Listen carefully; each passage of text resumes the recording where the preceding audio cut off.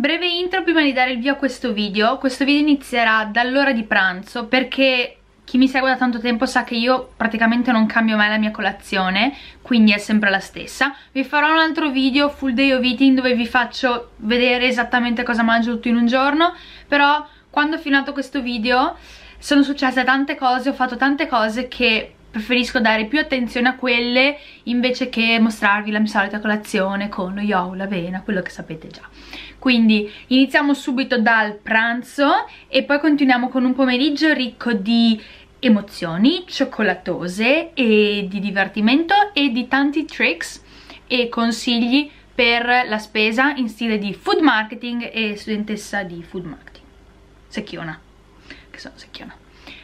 Buona visione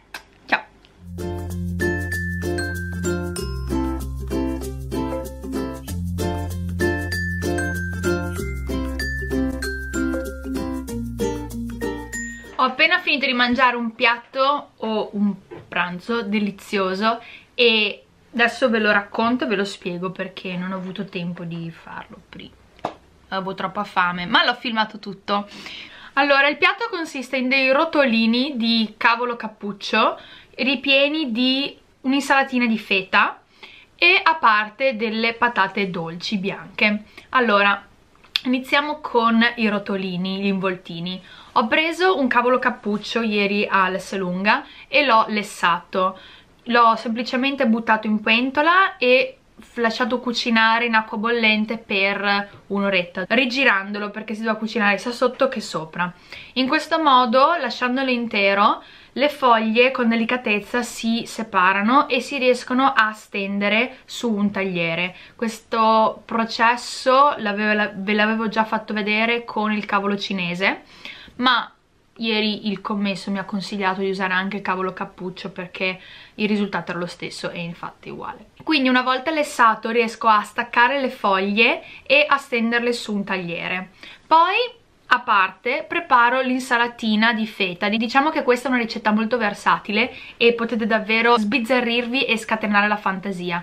Io infatti ve l'avevo già fatta vedere con un ripieno di riso e carne e verdure ma potete farlo con qualunque cosa. A me andava qualcosa di fresco oggi visto che anche se fine settembre c'è ancora sole e caldo io infatti sono in pantaloncini corti quindi me ne sto proprio godendo e mi godo gli ultimi istanti di estate diciamo. Comunque avevo voglia di una ricetta fresca quindi ho fatto questo ripieno di insalata di feta fatta con dei pomodorini tagliati mischiati a rucola che ho tagliato per renderla più amalgamabile e feta.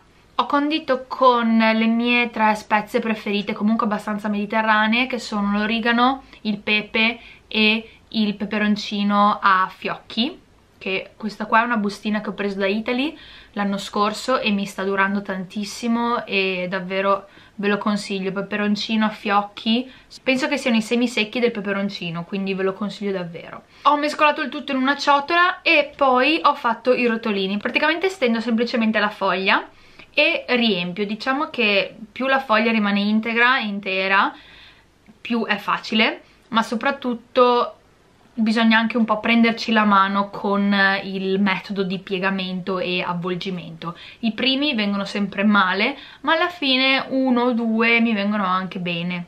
Questa è la parte sfiziosa del piatto, infatti se fate degli aperitivi è una cosa molto simpatica da offrire quindi si può essere utile nel caso facciate aperitivi e poi a parte ho cucinato delle patate dolci. Queste le avete già viste su Instagram e mi state bombardando chiedendomi dove le ho prese. Le ho prese all'Idol all'Idol a 1,69€ al chilo e sono patate dolci bianche. E secondo me sono molto più buone di quelle rosse, l'ho sempre detto però non lesse, cioè secondo me le patate dolci lessate perdono tutto il loro gusto e diventano acquose. E infatti io le faccio al microonde. Praticamente prima le lavo poi le bucherello con una forchetta e poi le avvolgo in uno strato di Scottex Ho avuto una bruttissima esperienza con le patate in forno a microonde e infatti mi è andata a fuoco e mi ha rovinato tutto il forno a microonde quindi adesso quando le faccio, a parte starci tipo attenta e guardarlo fisso per quegli 8-10 minuti in cui cuociono ma bagno molto la carta perché forse il problema è stato che si è asciugata e ha preso fuoco, non me ne chiedete però ci sta, mi raccomando, fate attenzione, non bruciate il vostro forno a microonde per causa mia. E dopo appunto 8-10 minuti insomma basta sentire quando le senti morbidine e non dure insomma. Sono cotte. Le tolgo dalla Scottex le taglio e siccome ho notato che queste si asciugano molto diventano molto secche ci aggiungo un filo d'olio.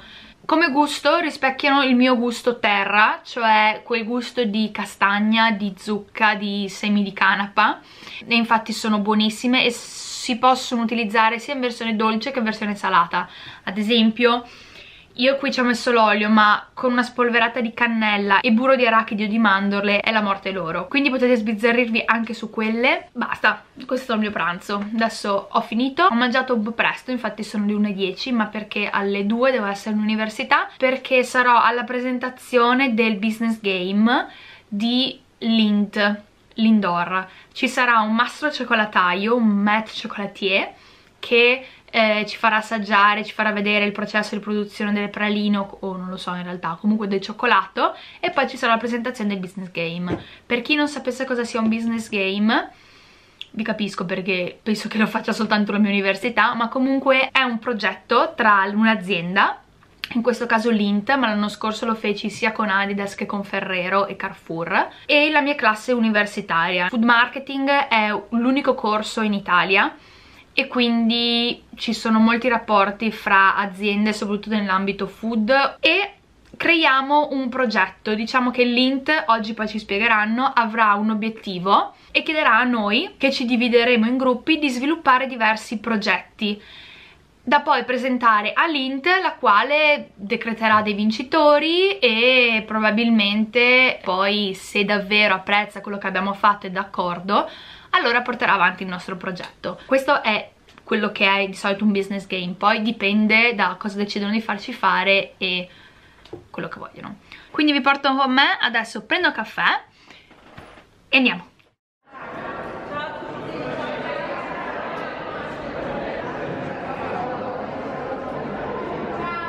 caratteristiche del consumatore in Italia, quindi che cosa sta facendo il consumatore di diverso rispetto a prima. I consumatori oggi hanno un approccio sempre più consapevole al cibo, sono attenti al contenuto del, del prodotto, spesso e volentieri guardano alle spalle l'etichetta dei prodotti, valutano i prodotti per quello che, eh, che contengono di conseguenza e soprattutto lo valutano anche talvolta per quella che è una vicinanza, quindi la territorialità fa la differenza e questo purtroppo l'IT non fa la differenza, sebbene abbiamo una produzione in Italia, ma non possiamo clemizzare il fatto che produciamo in Italia il prodotto.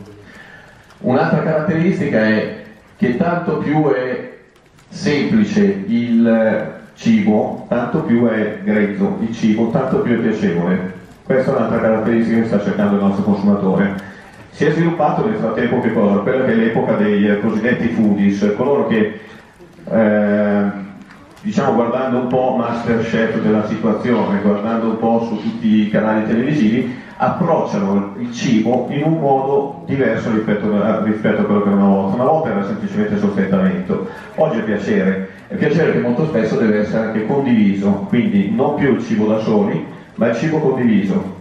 Questa è un'altra caratteristica del, dei prodotti food, tipicamente food? Allora, come dicevo, controlliamo tutto il processo partendo dalle, dal cacao e dalle fave di cacao.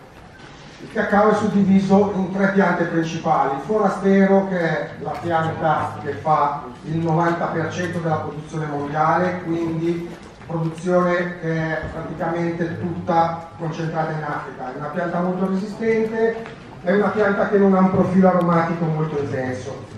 Poi abbiamo il cacao criollo che è una varietà che viene coltivata per lo più in Sud America, che è eh, una pianta più delicata ma con un profilo aromatico differente, più, eh, differente dal, dal forastero. non è di consumo ed è quello che usiamo per caratterizzare le nostre tavolette excellence. Dopodiché c'è un terzo, una terza pianta di cacao che è frutto di un incrocio fatto negli anni dal, dai coltivatori che è il trinitario che è un incrocio fra il forastero e il, il criollo e cerca di prendere quanto buono c'è da una parte di una pianta e dell'altra e metterle insieme. Deve spiegare come avviene la degustazione del prodotto e vi spiegare le capillarità dei singoli prodotti. Benissimo, scoprite un terzo e dopo aver fatto l'alluminio, prima cosa annusata, quei due quadratini. Te l'hanno messa. E dividete E dividete a metà. avete i due quadratini in mano, sentite, passategli le dita col pastello, sentite come è secoso, Senti se è setoso. vedete come è lucido. Madò. Passo successivo, avvicinate all'orecchio i due quadratini e fatelo diventare un suono, per sentire lo snack sound. Si sente poco, fa un po' troppo caldo in quest'aula. A questo punto avete un quadratino, se volete metterlo in bocca tutto mettete in bocca tutto, se no lo spezzate ulteriormente. Il consiglio è 2-3 morsi con i molari e poi tenete quello che rimane sulla lingua a contatto col palato e lasciatelo sciogliere. La faccio fare? Non sono i molari. Con quelli indietro. Se siete degli amanti del vino, il concetto è molto simile, bisogna degustarlo il cioccolato, bisogna capire.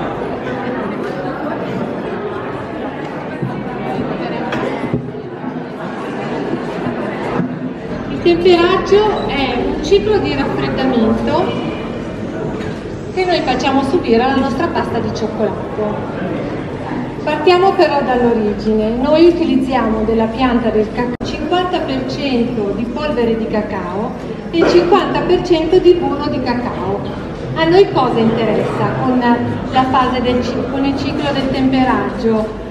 Eh, agire sul burro di cacao che ha una struttura formata da cristalli stabili e cristalli instabili.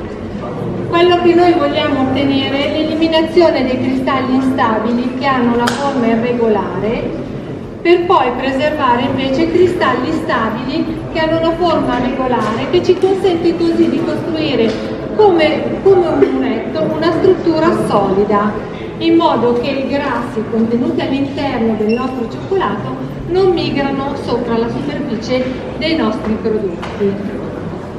Nel temperaggio per cui si parte da una temperatura di 45 gradi, io adesso ho già preparato la nostra melting pot dove all'interno c'è il nostro cioccolato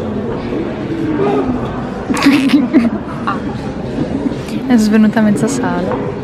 La temperatura è di 45 gradi perché è la temperatura ideale in modo che sopra i 45 gradi il cioccolato si brucia. A 45 gradi tutti i cristalli si sciolgono per cui sia cristalli stabili che instabili si sciolgono.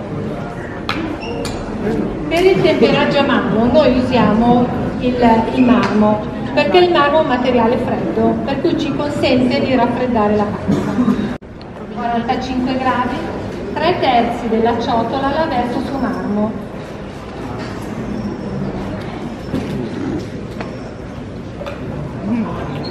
Dopodiché utilizzo una scatola a gomito per stendere il cioccolato sul marmo e un raschiatore per raccogliere la pasta al centro del marmo.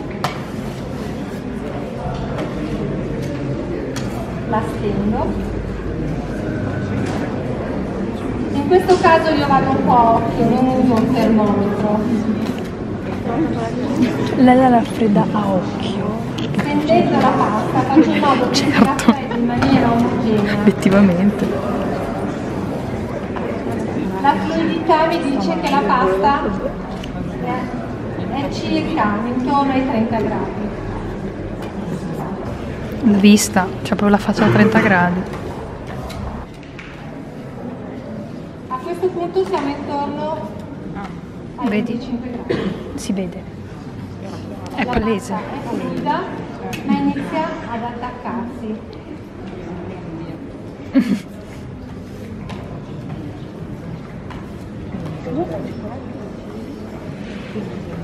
A questo punto per farla riscaldare di quel delta io raccolgo la pasta Il cialito sopra. E la rimetto nella ciotola dove all'interno ho lasciato un terzo della pasta a 45 gradi ed è il giusto delta che mi consente di fissare i cristalli stabili all'interno della pasta. In caso miscelo le nocciole con la pasta. Abbonda un po', dai. Dai, su ste nocciole. verso il nostro cioccolato all'interno dello stavo.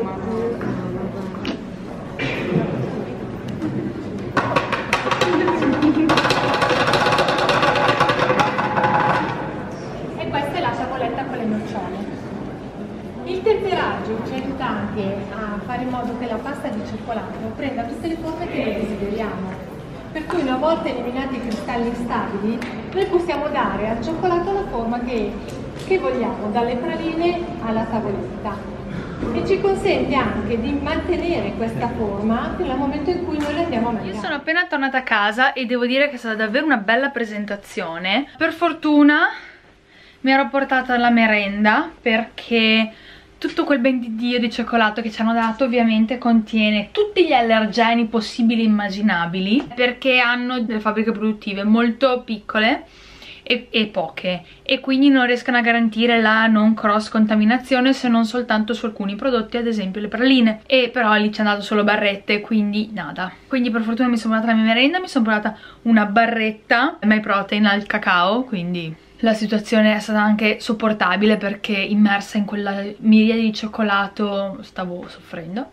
Adesso è relativamente presto, sono le 5 e mezza quindi per ammazzare un po' il tempo fino all'ora di cena e siccome mi sono già allenata potrei studiare, mettere a posto gli appunti ma voglio andare da Italy perché voglio prendere alcune cose che prendo sempre da Italy ad esempio il pesto.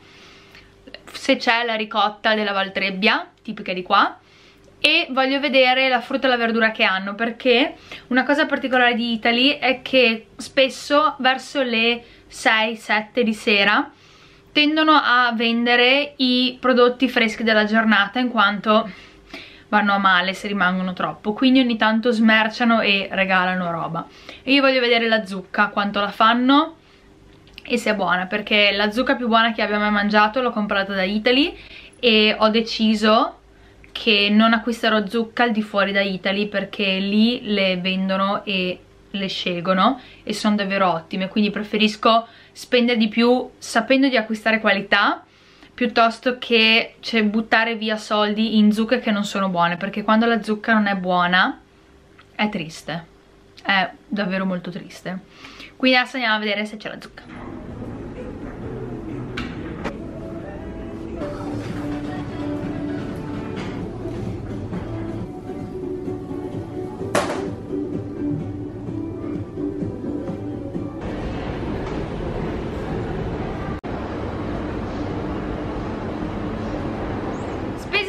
è stato un successo, ho trovato un sacco di cose interessanti e carine. Due bei melograni che adesso sono di stagione, quindi approfittatene perché sono davvero... io amo il melograno. E sbuccio e conservo in una scatolina in freezer.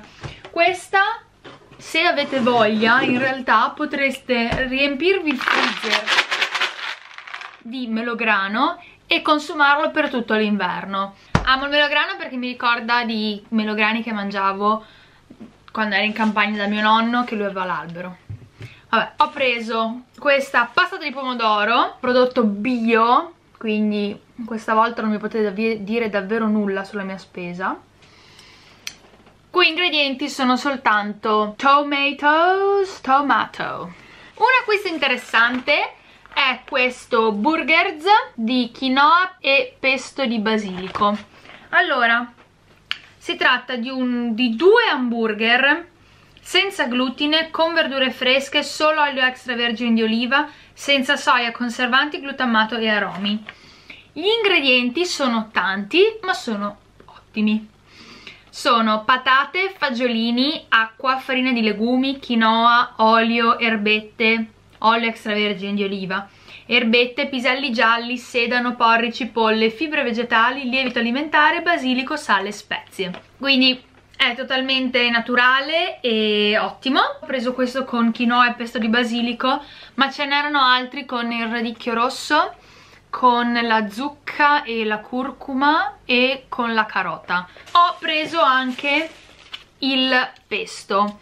Ho preso questo qui che vendono da Italy la formula con l'aglio su questo pesto vi voglio parlare di una cosa che quindi adesso indossiamo i miei occhiali da nerd studentessa di food marketing perché è una cosa che a me eccita tantissimo e che voglio dirvi. Allora, al banco del pesto c'erano due pesti. Per vedere la differenza e valutare il motivo per cui uno costasse di più e uno costasse di meno, ho guardato gli ingredienti. Gli ingredienti erano identici, stessa formulazione, stesse percentuali e stesse scritte. Allora lì mi si è accesa un attimo la lampadina e mi sono detta ma vuoi vedere che qui ci vogliono fregare? E allora sono andata a vedere i produttori di questi due pesti. Volete sapere cosa ho scoperto? Sono esattamente lo stesso produttore.